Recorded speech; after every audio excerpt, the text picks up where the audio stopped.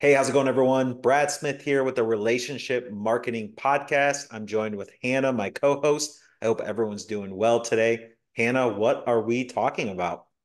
Today, we are talking about the million dollar marketing funnel.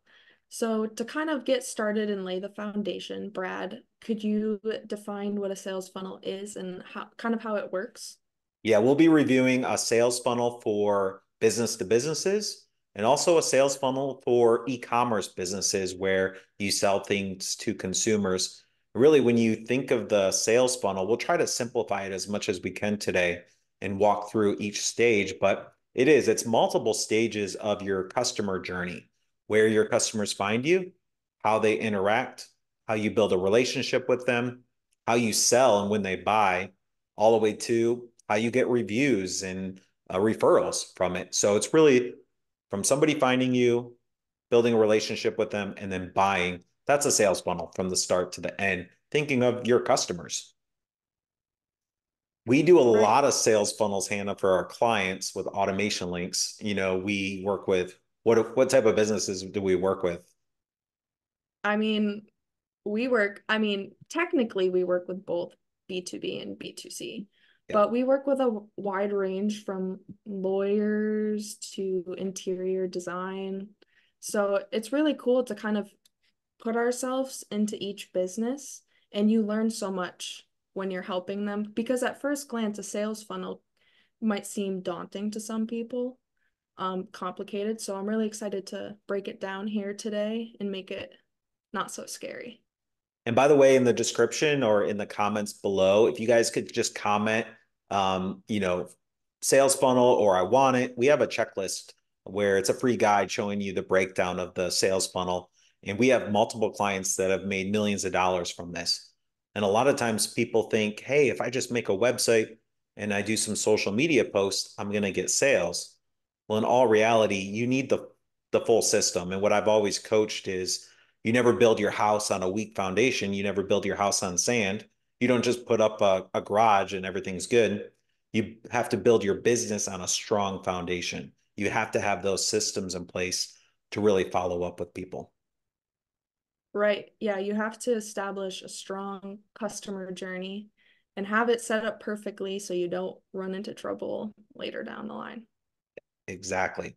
So I think we, let's get into maybe, you know, why it's important. Um, I think, you know, for me, I know that like I just mentioned, you can't just build a website and think people are going to come. I think the follow up is always the most important. Back in the day, they used to say you had to follow up with somebody, you know, seven times before they made a purchase. Nowadays, I think it's even more. But so, where is the start of the sales funnel? Like, what brings people in to your business in the first place? That's what I, I think we should cover first.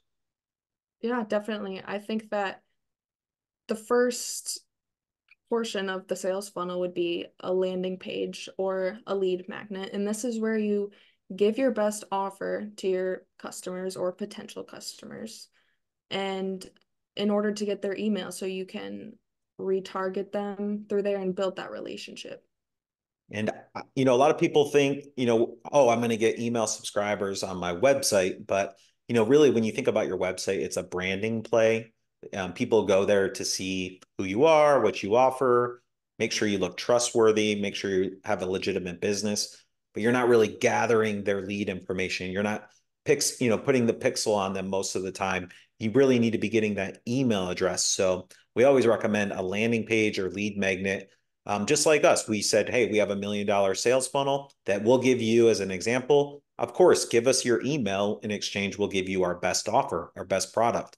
So same thing. What's your best thing that you can give away for free in exchange for that email address, which then leads to that second stage of the sales funnel, which is really key. Let's get somebody interested and give them something of value so we can build that relationship.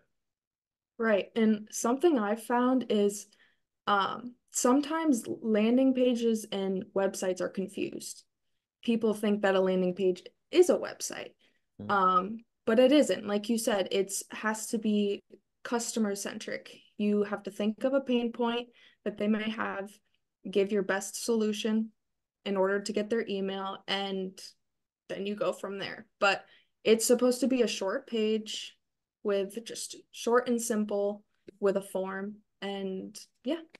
I always like to say you should think of all of your customers when they come to your website as they're sitting at a red light on their phone. Because that mm-hmm. that's most of the time. Most people are on their phones and probably texting and driving. So how can you get something in exchange for them before the light turns green? Because that's what's going to happen. They're going to stay on your page for just a couple seconds. So if you have all your menus even at the top, they might get lost and go to the about page and go to the I think the pricing page is usually the most visited page on a website. So the last thing you want them doing is coming to your landing page and going to your pricing page right away and then the light turns green. So usually we recommend hiding the menu and hiding your footer and just limiting your lead magnet or landing page to just three sections. Here's what we're going to offer you. Here's a form to fill out, and that's it. You know, if, if you don't like it, lights turning green, on to the next one. But um, yeah, keep it super super short and don't let people get lost. Yeah, you don't. Sometimes if I go on a website and it's just all this information on it, it's overwhelming. So on a landing page, you know, a website is fine to, you know, put the about us and all that to help, like you said, build the trust. But a landing page, you definitely don't want them to forget about you when the light turns green. Yeah, that's yep. and that a lot of times people will make the and that comes into our next question that and topic is how can we improve the conversion rates? So if you put up a landing page and people just aren't filling out the form, it means you're probably not giving them a good offer or your copywriting is wrong. So when somebody comes to the page, one quick recommendation is acknowledge their pain point at the top. If you're a health and fitness company, your main headline should say, fill out this form to so I can help you lose weight for a free guide to lose weight. If you are a hair salon, the very first headline should be, we provide the best, you know, we're the best hair salon in this city. Fill out the form for a 10% coupon code. If you're e-commerce, you know, hey, we have the highest quality products made in the US. Fill out the form to get 20% coupon code. So that's really key to help um, increasing the conversion rates. Definitely. And I feel like, you know, working, us working on automation links and our clients, you notice a lot of them tend to say like hair salon in this location, which is so good because when you really look at like the stats of a website, you can see that people are searching up simple things like hair salon in New York City.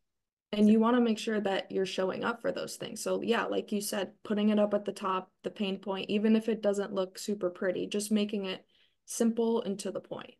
Yep. Test test test. So our, our next question we, i want to cover are what are the key stages? What are some other stages of the sales funnel? So we know we need a lead magnet or a landing page we know we need to get their email addresses then what how do we follow up with them we know that from the lead magnet, we're going to get emails. So we're going to retarget there. Um, like you said, you should touch the client like seven times to build that relationship. And yep. social media can be very powerful as well for retargeting. Um, what else would you say?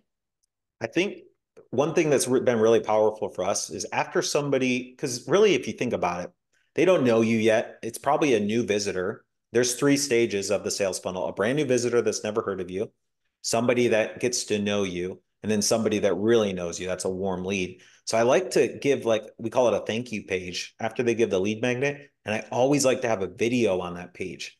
That way they can start seeing who you are, building some sort of relationship with you, see your face, um, almost feel like they get to know you, just like we make our videos, our podcasts on YouTube as well. So people can see who we are, see that we're authentic and that we care.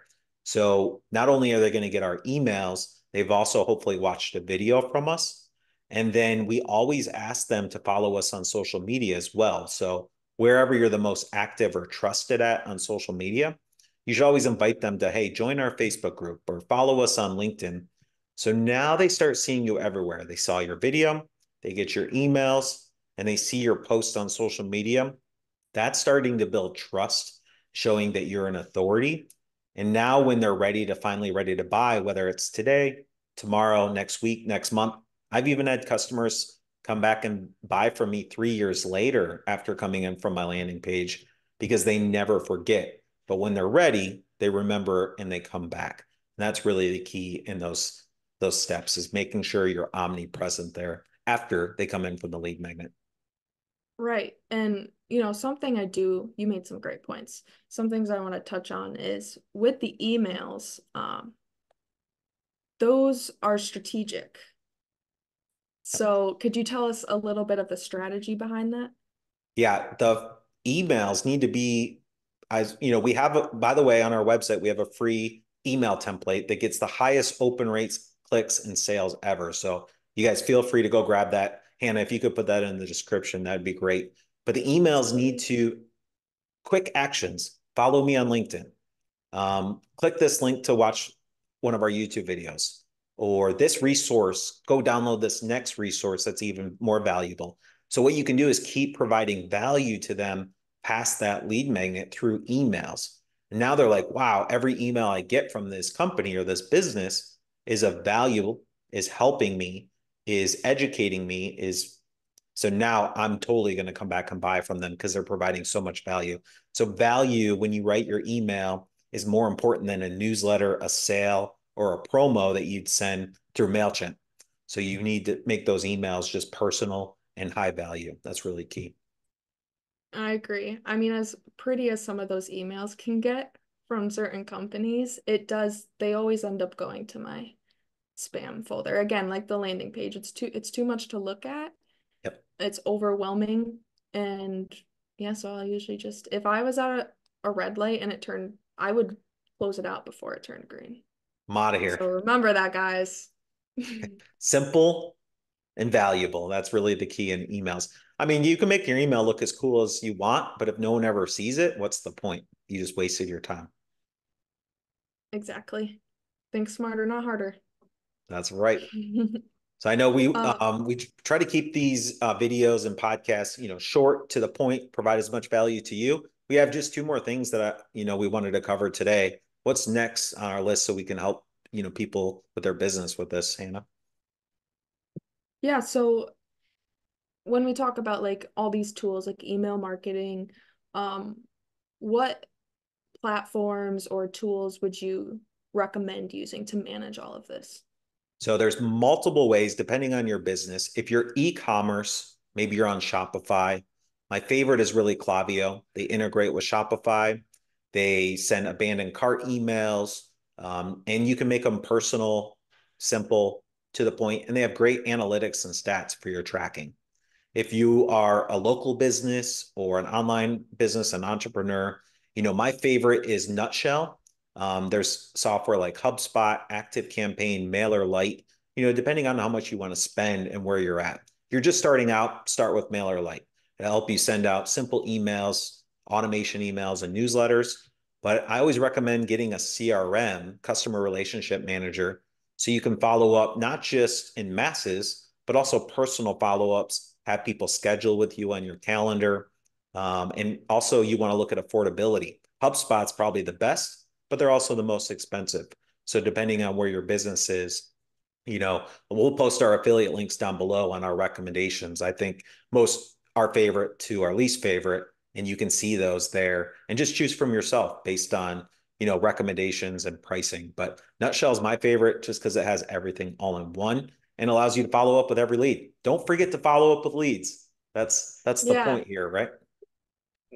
The only the only way to do that efficiently is to automate your marketing. It's so seamless and I do love Nutshell as well, eh, but I do agree that, you know, MailerLite is I would say very user friendly, especially when I first started. So, I think that's a great place to start for those who are wondering.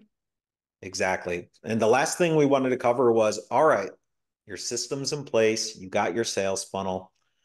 You hopefully you have a couple automated emails, maybe just one. And hey, if you want to do personal one-to-one emails, if you're just starting out, that's fine also.